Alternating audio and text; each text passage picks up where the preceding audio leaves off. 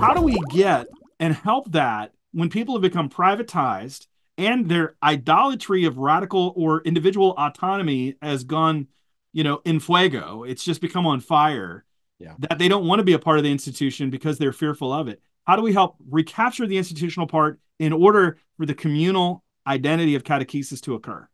This this is so hard. I mentioned this at the very beginning about how how is the modern world different from the early Christian world, the pre-Constantinian world. And one of the things is I mentioned both on the one hand, we've had 1600 years of Christendom in the West, which has been both good and bad. So, in some ways, one, we are dealing with uh, many of the abuse, much, much of the abuse and the sin that has happened at the hands of those who have had ecclesial power and institutions that have not always, Christian institutions that have not always performed in virtuous ways. So, one thing, I, I mentioned this beginning, one thing is we are now living in a world in which we sort of have to acknowledge, we have to acknowledge some of those things. Simultaneously, this is like a Tom Holland dominion mm-hmm. where the church has done some incredible things. And institutions created by the church have done some magnanimous, incredible godly work. So we're often trying to struggle with those. And I mentioned in one chapter on the intellectual life like trying to deal with current institutions or create institution. And i say it's going to be some kind of both and. I think one challenge we have that i don't really get into in the book is with the loss of some institutions like like say a university or a college or something there are people who have invested their lives in that christians who have now lost that institution who now have to deal with the the fallout and redirect energies. That that's a challenge. This is where pastoral work comes in.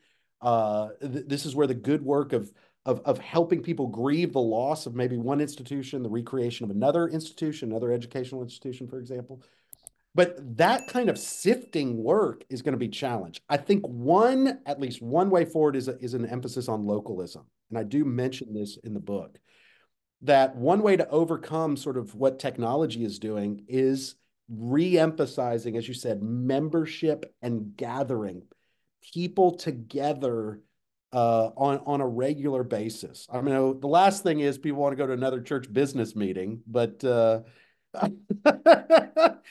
but creating creating liturgies and habits of getting people together and growing together. Hospitality. Yes. Basic things. Yeah. It's not that hard. Pass people over to your house to eat for crying out loud. Growing together in godliness and you know, getting off our phones and getting getting to church together and a and pastoral staff that will lead people in hospitality, that will create leaders, um, leaders that are creating that are not using. I mean, this is one of the challenge. I, I can't remember if I mentioned this book. I read a piece. Christian leaders uh, that are using their positions not as platforms, but as servants, as creating environments where people are are gathered together and learning hospitality. I mean, I think I think we need godly leaders, pastors that are kind of leading the charge and creating cultures within our churches and cultures within institutions where servant and hospitality are the orientations not at the expense of godliness and of Christian orthodoxy and Christian morality, but but doing so in ways that are that are Christ-like and servant-hearted. I, I mean, I think creating those kinds of cultures in our churches is is imperative. Uh, I think it has to go beyond the pragmatic centralization aspect in certain respects. That it has to go back you, into the home, localization, hospitality